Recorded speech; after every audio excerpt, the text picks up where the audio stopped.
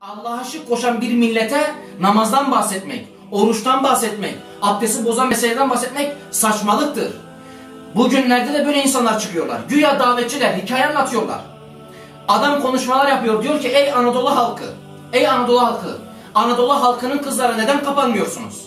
Ey Anadolu halkı, neden annenize babanıza saygısızlık yapıyorsunuz? Ey Anadolu kahraman Anadolu halkı, neden şunu yapmıyorsunuz? Bakın Allah Azze ve Celle diyor ki Ashab-ı bahsederken. Yani Allah'a şirk koşan bir millete neyle davet edeceksin? Hadi hepiniz kapanın. Hepiniz annenize babanıza iyi davranın. Adam bunun davetini yapıyor. Ya bunlar Allah'a şirk koşuyorlar. Anadolu halkı her beş senede bir Allah'a şirk koşacak amellerde bulunuyor.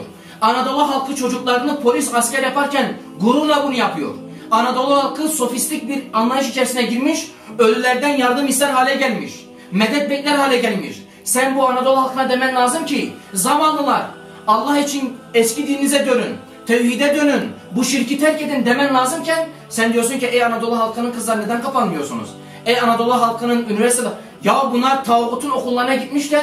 Buralara kadar okumuşlar. 16 senelerin tağutun okuluna vermişler bu insanlar.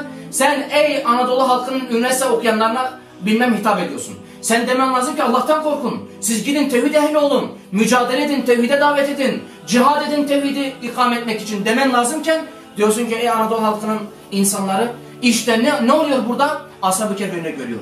Yerlerin ve göklerin Rabbi Allah'tır.